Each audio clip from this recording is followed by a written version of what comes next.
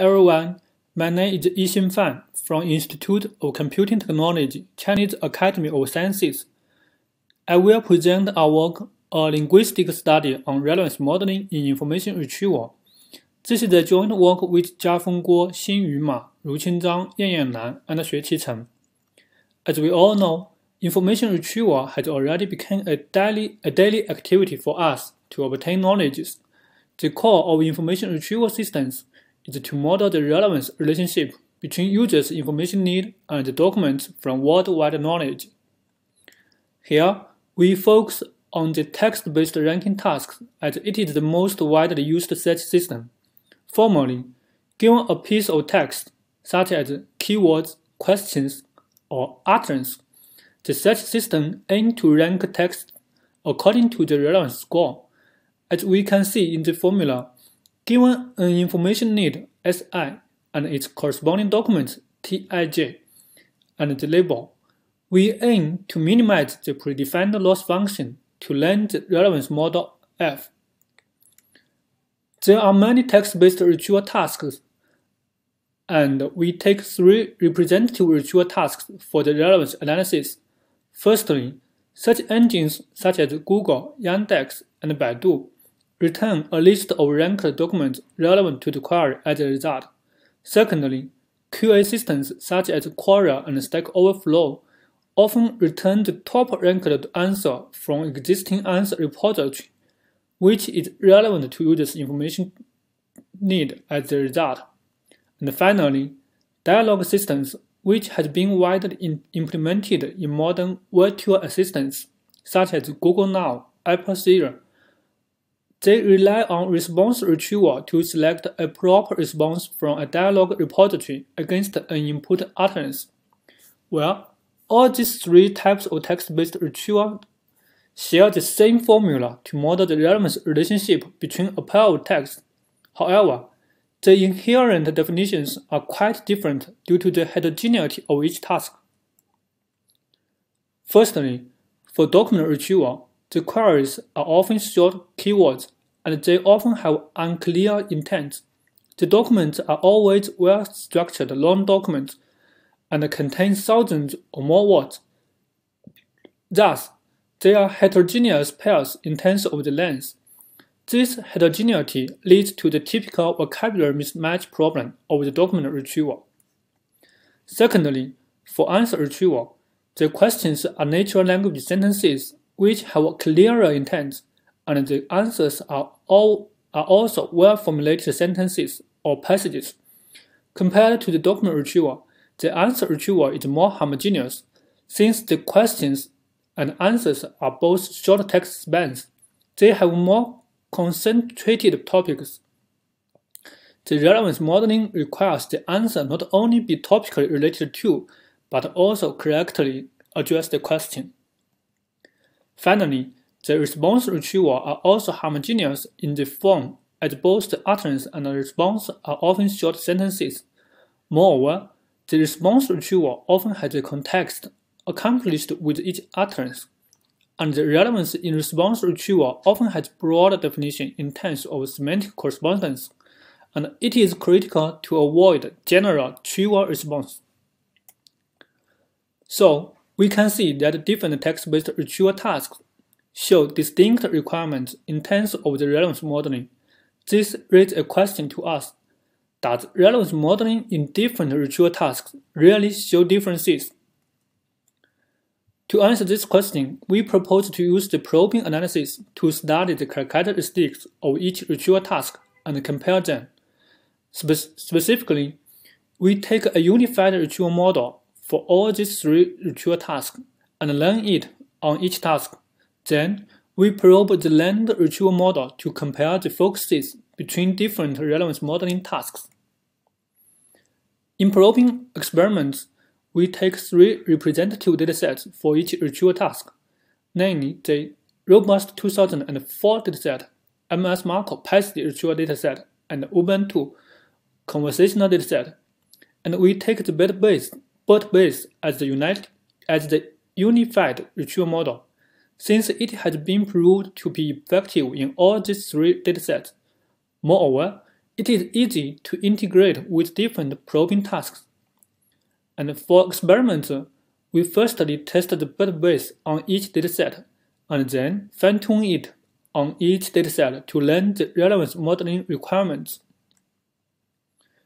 We take 16 natural language understanding tasks as the probing tasks, which can be categorized into three groups, including lexical tasks, syntactic tasks, and semantic tasks. The right table shows the detailed statistics of each probing task. For more detailed description of each probing task, you can check it on our paper. Okay, uh, let's look at the probing results. Here, we show the performance of the retrieval model on each retrieval task. Since the probing on the BERT can be conducted on each layer, we thus show all layer performances of the BERT before and after fine-tune. The blue line shows the performance of original BERT, and the orange line shows the performance of fine-tuned BERT. From the results, we can see that the BERT has already achieved good performances on all three retrieval tasks, and the fine-tuned BERT can significantly improve the performances on all retrieval tasks. And finally, we can see that higher layers achieved better performance than lower layers, and the last layer always performs the best. Then, we show the main results of each probing task on all three retrieval datasets. Firstly, for document retrieval, we can see that it paid more attention on the semantic tasks than the lexical and syntactic tasks, since the almost, lex, all, almost all lexical tasks and syntactic tasks have dropped performances. Moreover, relevance modeling in document retrieval requires better understanding of the semantic meaning of a word pair. As we can see, the top two ranked tasks are polysemy and synonym. And for answer retrieval, we found that 11 out of 16 probing tasks have been improved. This shows that the relevance modeling in answer retrieval is more difficult, since it requires more comprehensive language understanding. Moreover, we can see that the fine-tuned BERT improves all syntactic level tasks, demonstrating that syntactic features are more important. And for response retrieval, we can see that 12 out of 16 probing tasks have dropped performances on the fine-tuned BERT. This may be that most linguistic properties encoded in original BERT had already been, suffi be sufficient for response retrieval. And moreover, the fine-tuned BERT improves synonym while decreases polysemy significantly. This demonstrates response retrieval needed to better understand similar words in different contexts than to distinguish the same words in different contexts.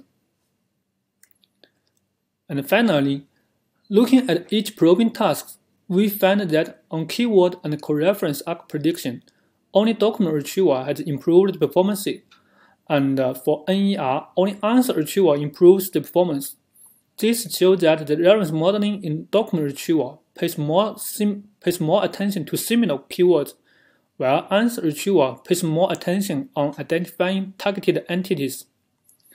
For the word scramble tasks, the answer retrieval and response retrieval both improved performances, which indicates that answer retrieval and response retrieval care more about sentence structure than the document retrieval.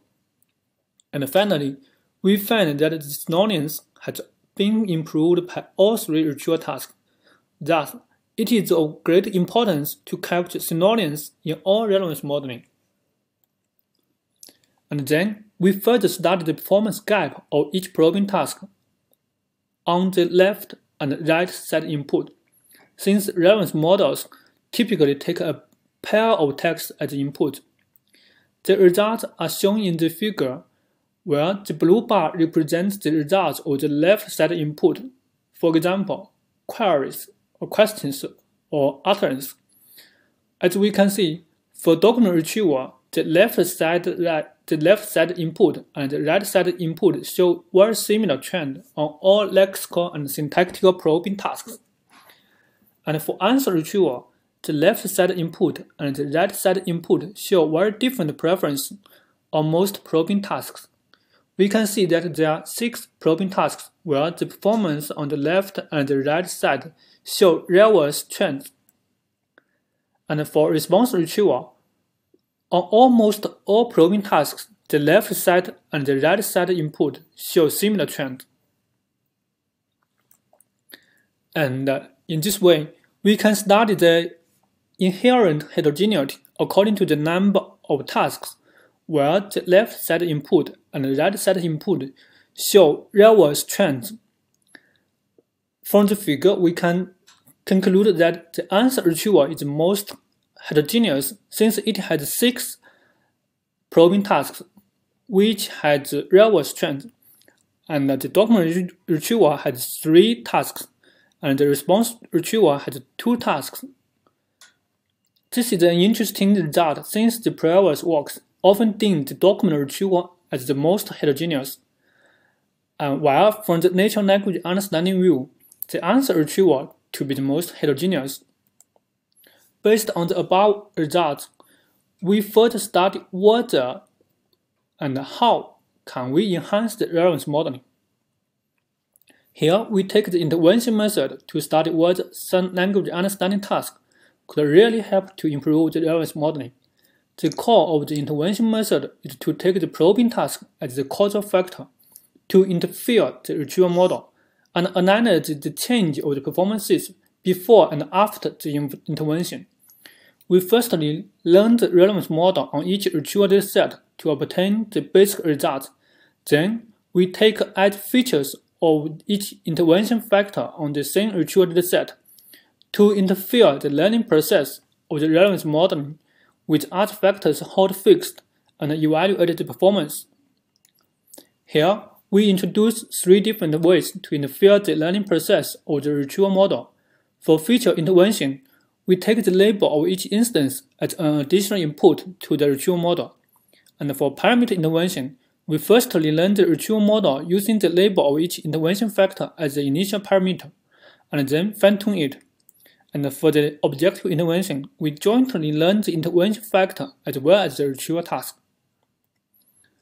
Firstly, we compare each intervention method by taking the keyword task as the intervention factor. From the results, we can see that the feature intervention had very little effect on the performances, while the objective intervention had significantly decreased the retrieval performance on all retrieval tasks, while the parameter intervention has gained significant improvement on document retrieval and dropped with a large margin to the on the answer and response retrieval, which is consistent with previous findings. Thus, these results show that the parameter intervention is more effective than the other two intervention method. Then we take four probing tasks as intervention factor of the parameter intervention, and we can see that the NER and keyword have significantly improved the performances of the retrieval model in answer and document retrieval, and the synonym has consistently improved the performance on all relevance models. These results all show that the factors revealed in the probing analysis could really be helpful to the relevance modeling for different retrieval tasks. And finally, I will make a brief conclusion to our work Firstly, we propose to use the probing method to investigate the relevance modeling and show different modeling focuses.